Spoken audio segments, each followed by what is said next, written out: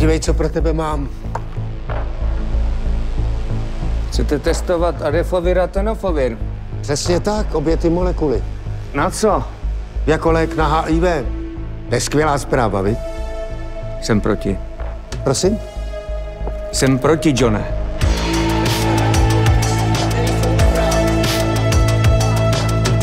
Já tady s dovolením uplatňuji morální stanovisko. No tak to ne, neskoumáme přece molekuly z morálního hlediska. Já v laboratoři ne. Ale vy byste měli. AIDS není žádná obchodní značka. AIDS je naše šance. Takže HIV nebo nic? Obávám se, že je to tak. Tak jo. Tak to testujte na HIV. No je to, Je to složitý. Co složitý, tak to řekneme jenom dobrý den, dobrý den. Máme to? No něco v tom smyslu, ale... Jo, bylo to drahý, ale funguje to. No to by se v zásadě říct dalo. Výborně, takže hotovo, máme to, léčí to. Jsme národ blbců nebo co?